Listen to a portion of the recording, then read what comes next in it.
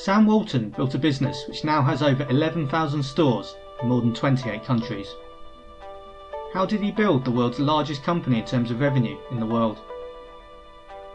Founded over 50 years ago, Sam had many personal traits that helped Walmart grow from a single store to the largest retail outfit there is.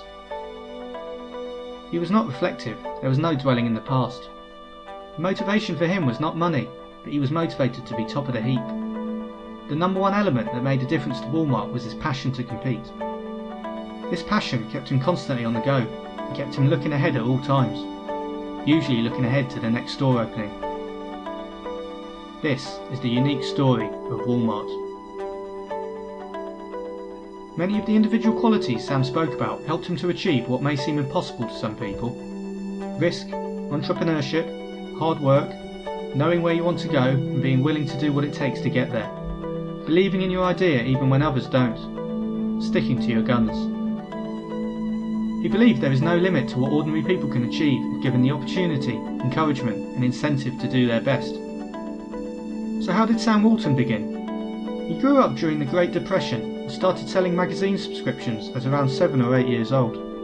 It taught him the value of money, how much hard work it took to get it, and that when you did, it was worth something. When it came to Walmart, he readily admits he was cheap. He'd stay at lower end hotels, two to a room, and eat at family restaurants. Why? Every time Walmart spends a dollar foolishly, it comes out of the customer's pocket. Every dollar saved puts Walmart one more step ahead of the competition. He had high drive and ambition.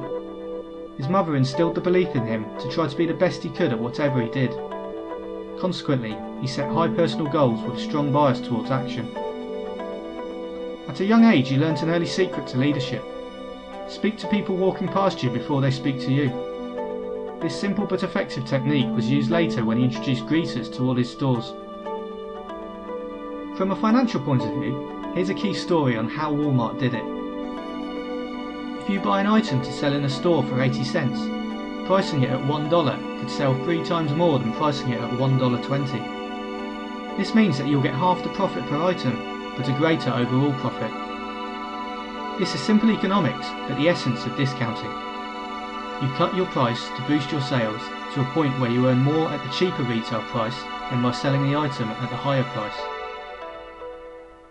Sam's first store had a lot of experimenting. Even when business was good, he constantly fiddled and meddled. This contributed to Walmart's later success.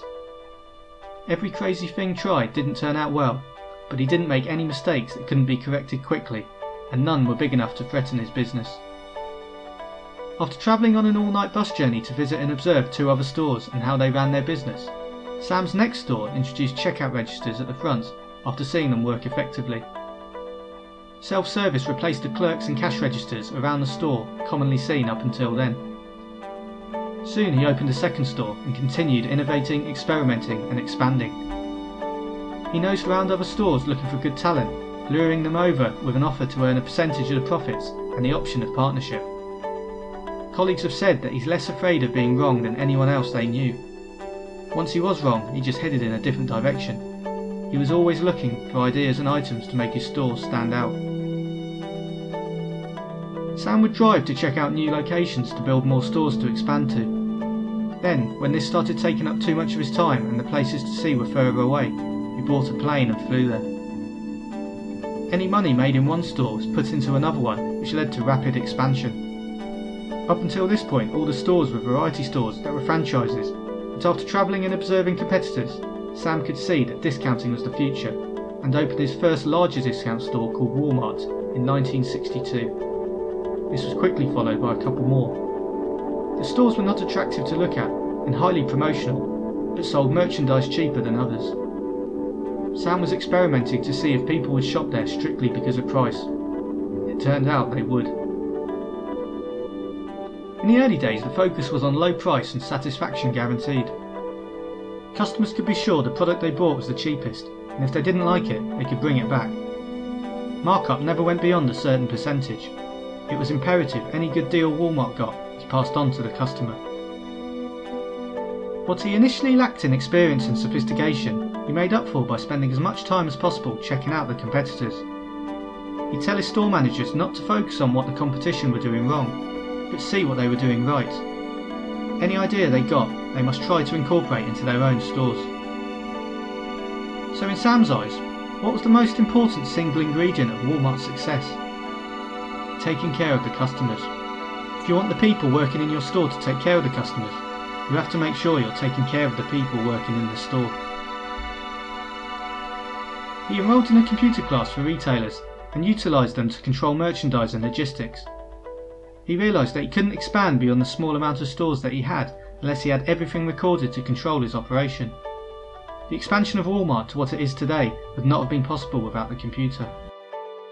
Because of his strong belief in the company, Sam had taken on a lot of personal debt to expand the business.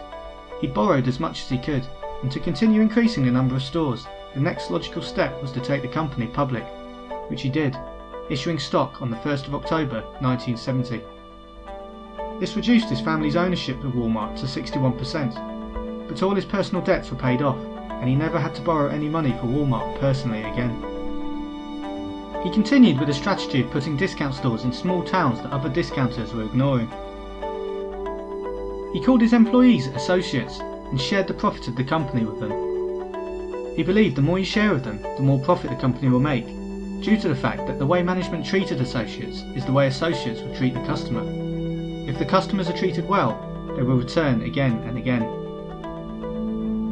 This was one method of keeping associates motivated, and keeping them motivated will allow them to do the best job possible. He created a corporate culture within the company that encompassed a whistle while you work philosophy.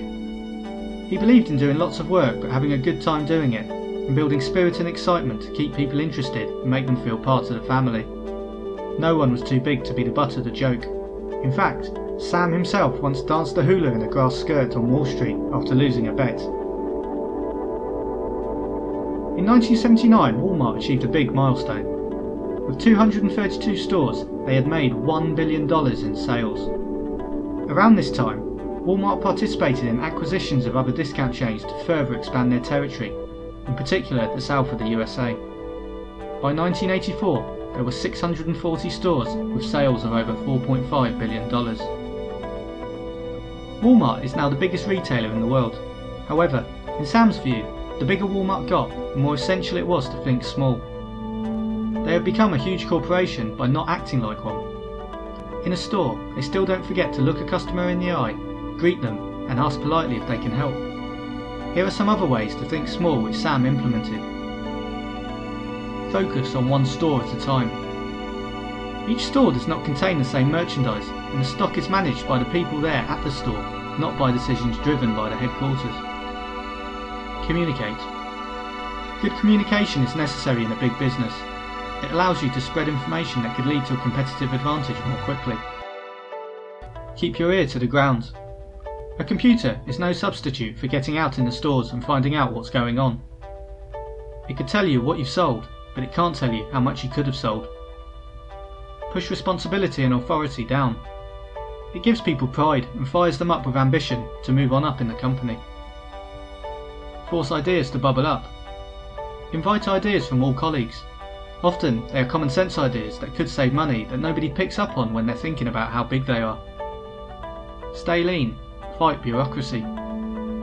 When you grow fast, duplication builds up and there will be areas of the business you no longer need. Top management need to be constantly thinking about this to ensure a sound future for the company.